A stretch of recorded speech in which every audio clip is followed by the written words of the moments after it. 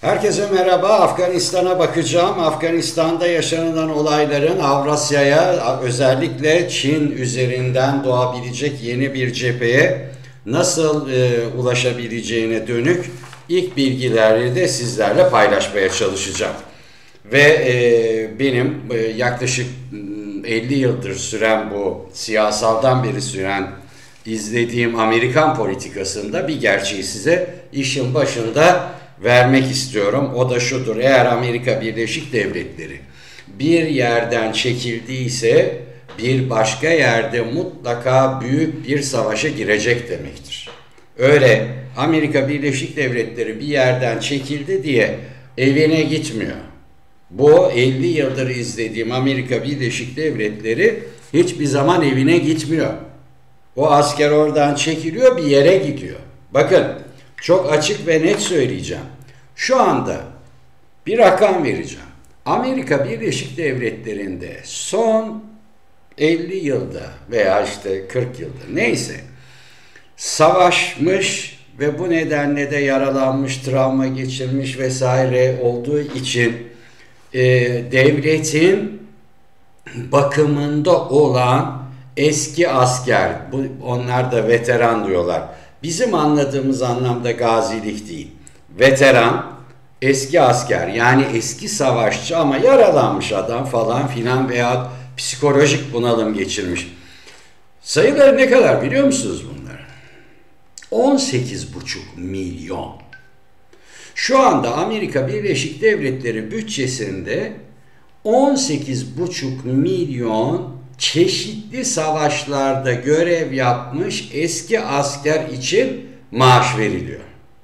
Bu geçtiğimiz 3 yıl öncesine kadar 23,5 milyon insandı. 23,5 milyon erkek şu veya bu şekilde herhangi bir dünya bölgesinde savaşa girmiş ve bakıma muhtaç pozisyonda kaldığı için Amerika'dan maaş alıyordu. Niye 5 milyon azaldı? Vietnam gazileri ölüyor şu sıralar. Yaşlandılar.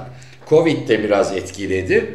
Yani e, dramatik bir düşüş oldu. 23,5 milyondan 18,5 milyona indiler. Bu kadar gazisi var Amerika'nın. Bizim anlamda değil, onların anlamında gazi. Şimdi bunların 2040 e, yılına kadar bir büyük bir kısmı da genç bunların ha öyle Vietnam şey Vietnam falan değil. Irak, Afganistan oralarda savaşmış. 2040 yılına kadar Amerikan bütçesinden alacakları destek, maaş vesairenin toplamının 2.7 trilyon dolar olacağı ifade ediliyor. Böyle bir Amerika ile karşı karşıyayız. Daha fazla anlatmama gerek var mı? Yani demek ki 18,5 milyon veterana maaş bağladıklarına göre son 50 yılda kaç milyon Amerikalı genç çeşitli dünya ülkelerinde savaştı onu da Allah bilir ve bir de Amerika Savunma Bakanlığı bilir. Şimdi mesela ben gayet iyi hatırlıyorum o sırada artık yaşımızı almıştık yani gençtik ama 70 1975'te 20 yaşındaydım ben. Amerika'nın Saigon'dan nasıl kaçtığını e, iyi kötü televizyonlardan şuradan buradan izlemiştik siyah beyaz da olsa. Aynı Amerika. Aynı Amerika 1975'te Saigon'dan kaçıp Vietnam'ı kaybettiğini düşünen Amerika 1980 yılında Angola'da Angola'yı o dönemde Sovyetler Birliği ile işbirliği içinde yöneten komünist rejime karşı savaşa girdi birader. Ve ondan sonra hiç bitmedi savaşları. O yüzden şimdi e, tabii e, ilk etapta şöyle düşünülebilir. Ya 20 yıl savaşmış bir ülke sonuçta ayağında terlik e, altında şal var elinde de bir kalaşnikov olan adamlara mı yenildi? Şöyle bir durumu söyleyebilirim. Perinçek niye telaşlandı, niçin bu kadar heyecanlı? Ben de orada ona doğru gideyim. Ee, yani bu e, Moskova-Pekin hattında belli ki Moskova-Pekin hattında pişirilmiş bir yemek ve e, Transatlantik İttifak yani NATO burada çuvalladı. Bu doğru. Bu, bu doğru bir şey. Yani Moskova Pekin hattı Washington-Brüksel hattına galebe çaldı. Bunun nedeni NATO'nun çok kötü mü olması? Yani e, tabii daha önce de anlattım. E, savaştığınız adam bir e, etno gerilla yani e, sizin ordunuz çok gelişmiş. Bütün kapasiteleri, uzayda uyduları falan filan. Adam da e, akşam bir yerden çıkıyor, geliyor sizi vuruyor. Yani böyle bir savaş bu sonuç itibariyle Allah vermesin.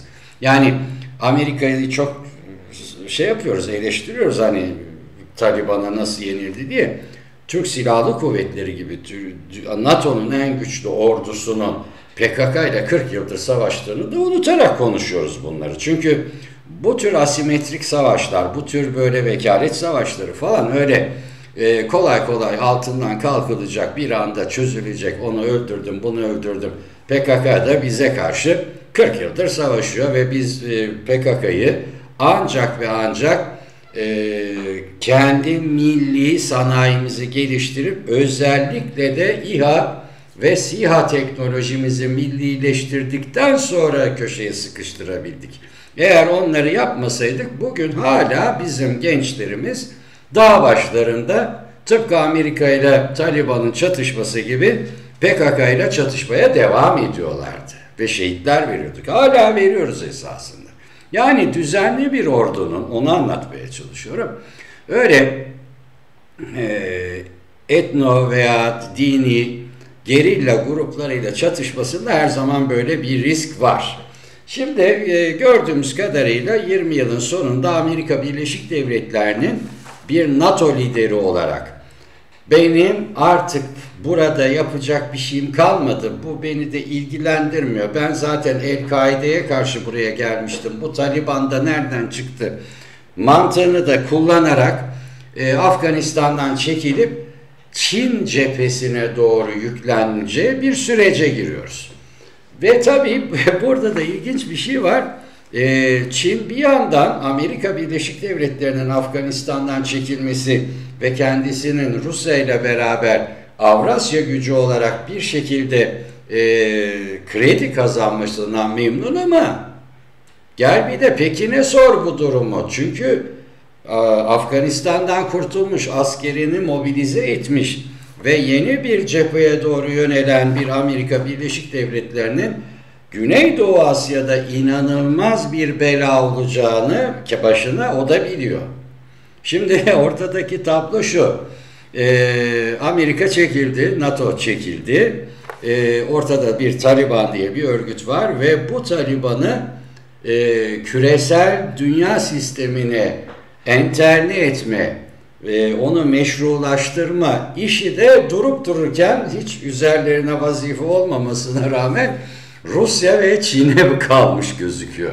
Çünkü bunlar e, Amerika'ya karşı savaşı e, perde arkasından yönlendirirken ki e, Amerika şey Rusya'nın e, büyükelçisi Kabil'deki Dimitri e, Jirno e, diyor ki evet diyor biz zaten diyor Taliban'la sürekli temas halindeydik ve bugüne kadar Sovyetler Birliği'nin çekilmesinden bugüne kadar Kabil'de işbirliği yaptığımız en dost grup Taliban'dı diyor. Şimdi Büyükelçi Dimitri Jirnov Rusya aynı zamanda aynı Rusya Taliban'ı resmen e, terörist ilan etmiş. Terörist listesinde tutan bir devlet.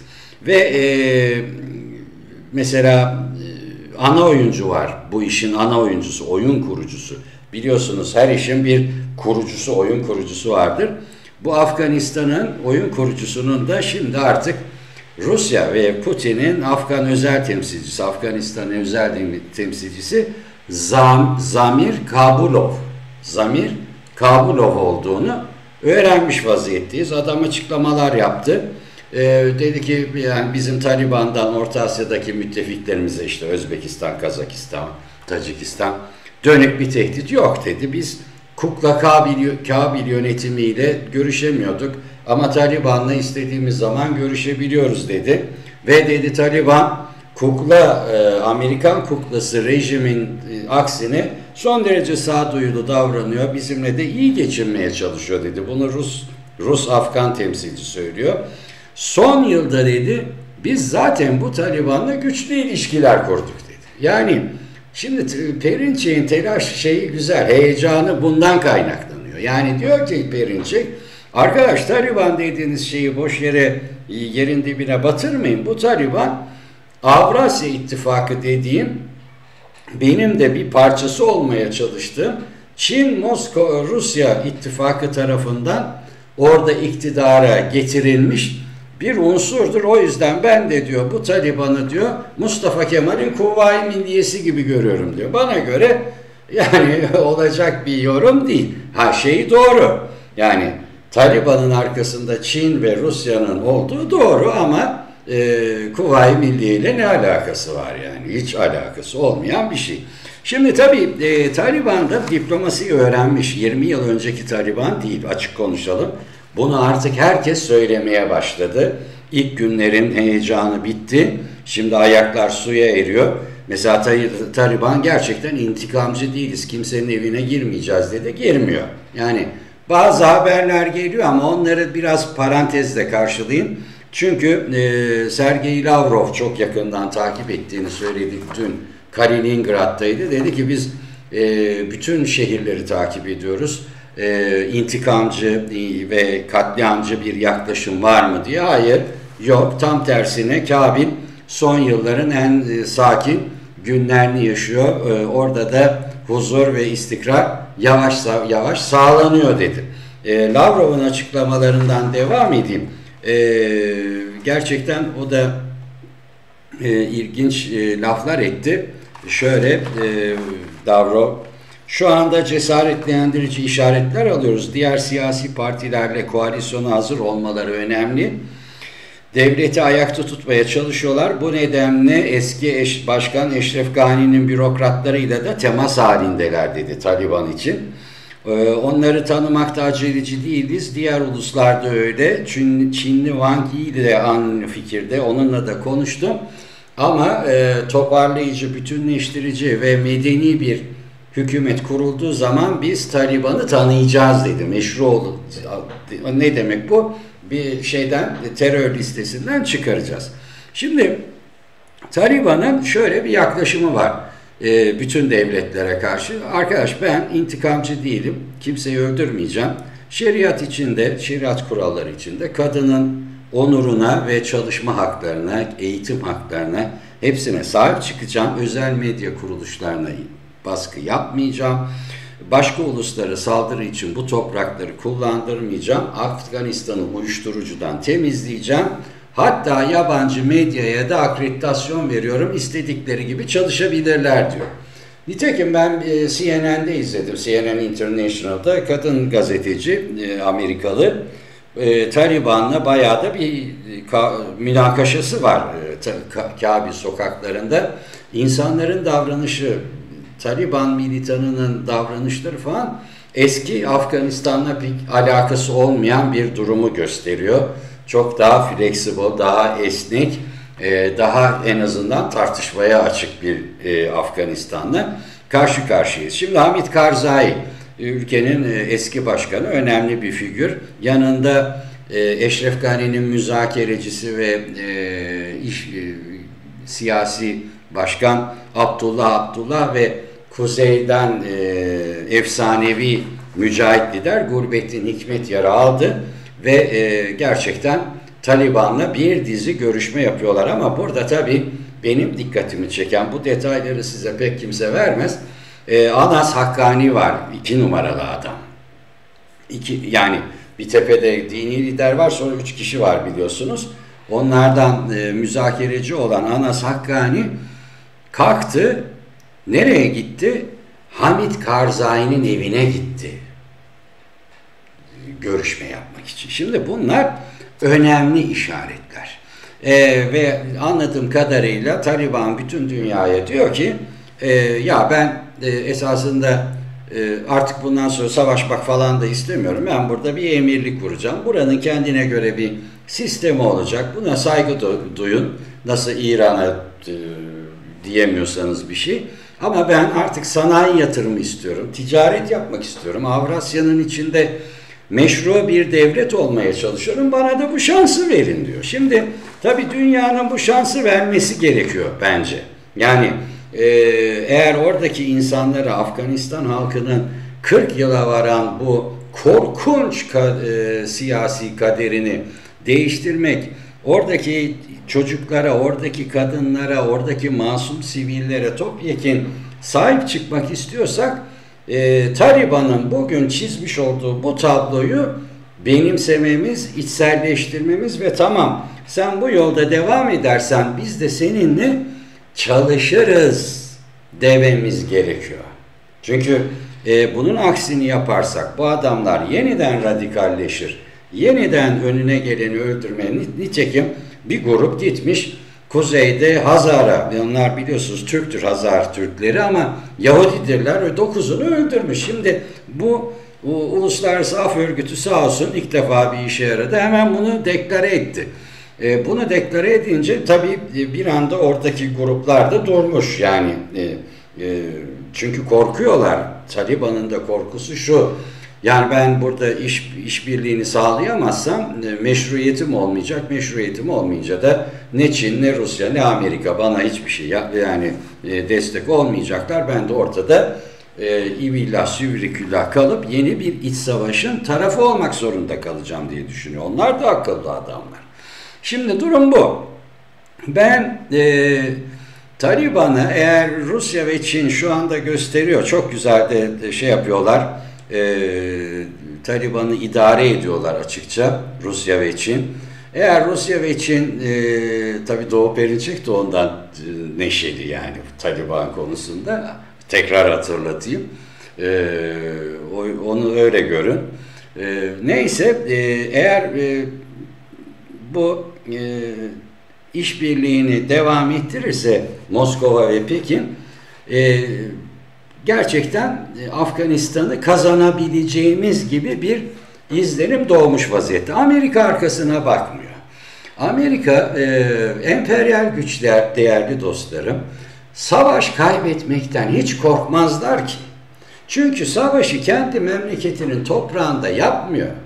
Gidiyor orada işte kendi stratejik hedefleri doğrultusunda işte Afganistan toprağındaki zavallı insanlar 7923 çocuk havadan SİHA bombardımanları nedeniyle öldürülmüş bir ülke 20 yılda. Niye? Düğünde göbek atarken bomba düştü be birader. Yani böyle bir ülke ve e, Amerika o ülkeyi kaybettiği için, oradan çekildiği için başka bir yere gideceği yani e, bir, bir şey olmuyor yani. Emperyal güçlerle ulus devletleri, Türkiye gibi ulus devletleri karıştırmayın. Çünkü emperyal güç dediğin şey gider savaşır, başarırsa başarır, başaramazsa başka bir yere gider. Şimdi başka bir yere gidiyor. Mesela yani Amerika Birleşik Devletleri ben size söyleyeyim Çin'i öne Çin'i hedefe oturtan bir Güneydoğu Asya macerasına doğru ilerliyor. Bu yakında göreceksiniz. Çünkü e, Çin meselesi şu. Afganistan'da iş uzundu yani Amerika açısından. Pragmatik bir devlet. Orayı uluslaştıracak, ondan sonra ekonomisini düzeltecek falan filan. E şimdi ekonomisi düzgün, kendisine göre kimliklerini kazanmış devletler var. Mesela Endonezya, Malezya, Tayland, Vietnam, Laos, Kamboçya. Bunlar hepsi Amerika ile çalışıyor, Filipinler. Yani bunda bir veya işte Tayvan. E bunların hepsi Amerika ile çalışıyor. En önemlisi Amerika'nın Güneydoğu Asya'da Japonya, Avustralya, Hindistan hattında inanılmaz bir dörtlü gücü var. Ve karşısında da hiç öyle Perinçek'in dediği gibi bir Avrasya ittifakı yok. Ben şunu görüyorum. Çin Halk Cumhuriyeti ile Rusya arasındaki şu anda gözüken ittifak askeri falan gözüküyor. Tamamen ta taktik bir ittifak. Hiç öyle stratejik derinliği olan e, bir ittifaktan söz edemeyiz. Bakın Çin mesela Kırım'ın ilhakını tanımadı.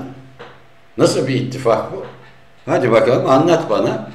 Çin Kırım'ın ilhakını tanımadı Birleşmiş Milletler'de. Ayrıca bizzat Ukrayna'nın durumundan da yararlanarak Avrupa'ya dönük bir base, bir üs olarak Ukrayna ile nasıl bir ticari ilişki geliştiriyor biliyor musunuz? Neredeyse bütün limanlarını falan yapacak. Rusya'nın gözünün içine baka baka yapıyor.